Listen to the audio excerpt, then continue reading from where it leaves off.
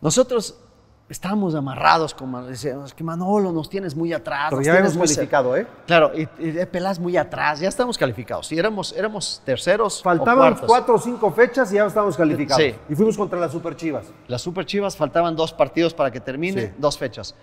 No éramos super líderes, estábamos entre los cuatro primeros, que nunca, nunca nos interesó ser super líderes ahí, la verdad.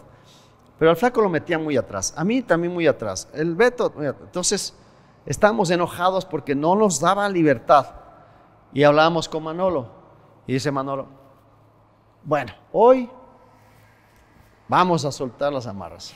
Ricardo, juegas adelante, Alex, juegas adelante, Beto, hagan lo que quieran, hagan lo que quieran, disfruten, Y para cambios adelante. de juego, no se me Y olvida. sí, cambios de juego. Y tiren y tiren la pelota. Entonces Manolo dijo, hagan lo que saben hacer. Entonces se sentó Manolo, hombre, pero, pero al comienzo, poste, Sí. sacaban ellos, nosotros, puta, sobre, pero